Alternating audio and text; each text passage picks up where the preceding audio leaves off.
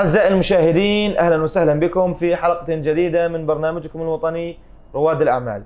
كما عودناكم في كل حلقة أن نستضيف نخبة من رجال الأعمال المتميزة. اخترنا لكم اليوم الأستاذ جلال أبو صعب صاحب أو managing director ل Quality Decoration نورتنا أستاذ جلال ونورت برنامج رواد الأعمال. بداية حابين نرحب فيك ونتعرف عنك ونعرف السادة المشاهدين عن شخصك الكريم.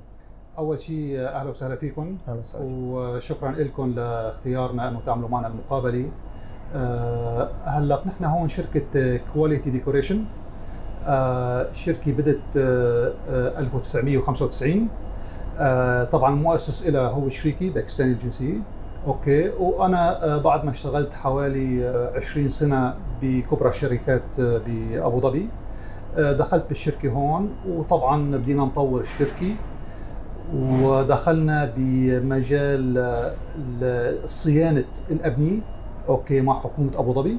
آه، بعد ما كنا بديانين ب آه، آه، ك subcontractor مقاول باطن لأعمال الحديد وال stainless steel والألومنيوم. أوكي وفتحنا مصنع powder coating كنا أو ما زلنا بنصبغ profile ات الألومنيوم والحديد والصفائح لكبرى شركات أبو ظبي. من آه، من آه، الشركات يلي بتقوم بتنفيذ الأبراج بأبو ظبي. الفلل ال high quality طبعا. آه، إلى آه، حتى المقاولين الصغار. نحن بنتعامل مع كل الناس. ما شاء الله عنكم. إحنا حابين أيضا نتعرف عن الخدمات اللي بتقدموها بشكل آه، عام في Quality Decorations للعملاء. أوكي. يعني. هلأ نحن آه، بالنسبة لل powder coating بنصبغ للمقاولين مقاولين الألومنيوم وال steel طبعا اللي بيشتغلوا بالبلد. آه، إضافة لهالشيء نحن بنعمل آه، عندنا عقود صيانة مع آه، حكومة أبو ظبي. نحن ماخذين عقد مع عقد حصري مع متحف اللوفر. ما شاء الله. لمدة خمس سنوات. وهلأ عم ندخل إن شاء الله مع شركات ثانية بنفس المجال. الخدمات اللي بنقدمها الصبغ بكافة أنواعه. آه، طبعا آه، ببراندات أو آه، آه، كواليتي عالي جدا. أكيد طبعا. كلها موصفه حسب ال- المواصفات اللي بتجينا نحن بنصبغها.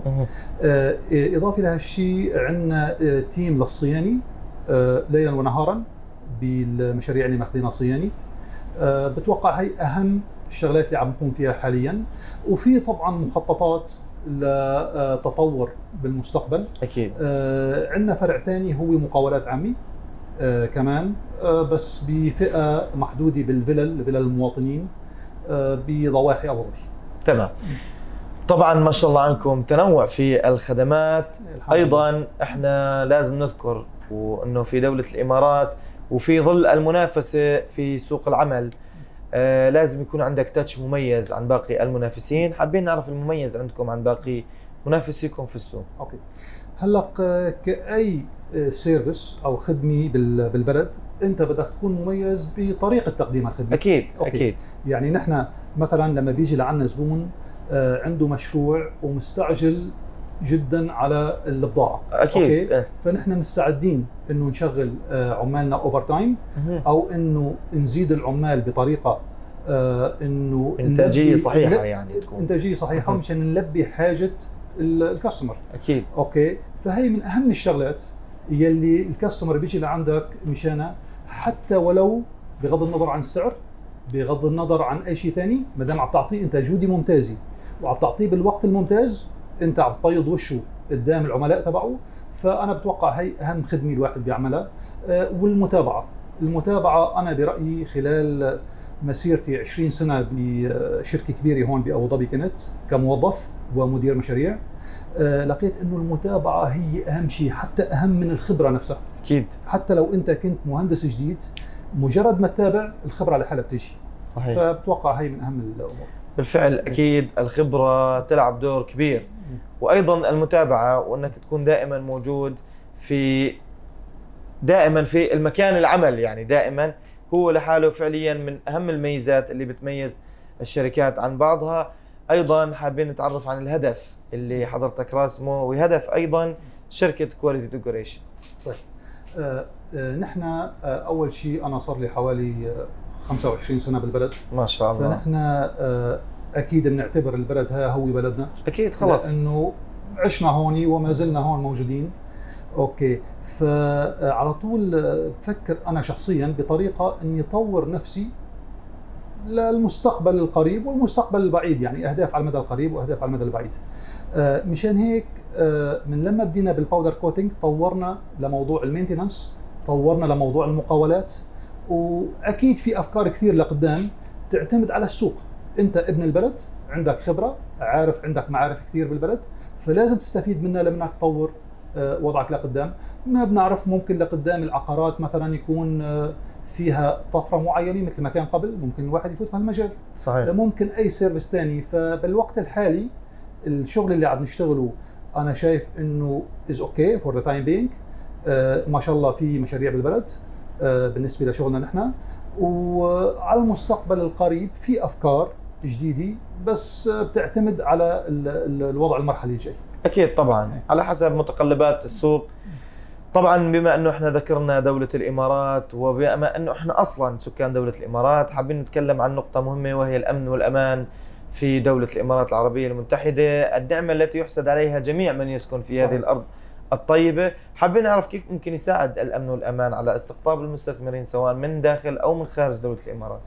آه، شيء طبيعي هاي من أهم الأمور الموجودة هون بالبلد أوكي آه، أنا بالمناسبة آه، من فترة قصيرة كنت بغير دولي بأوروبا آه، لفترة ولاحظت الفرق يمكن. من ناحية الأمن والأمان يمكن من ناحية التسهيلات للشركات آه، وخصوصا القرارات ال- اللي آه، مؤخرا نزلت مشان الإقامات مشان تسهيل أكيد. أمور المستثمرين المستثمرين آه، يعني بدي أذكر مثال واحد إنه أنا جددت رخصة شركتي آه، مؤخرا الشهر الماضي لثلاث سنوات برسوم تقريبا آه، واحد على عشرة من الرسوم اللي كانت ندفعها قبل شاء ثلاث. سنوات مهم.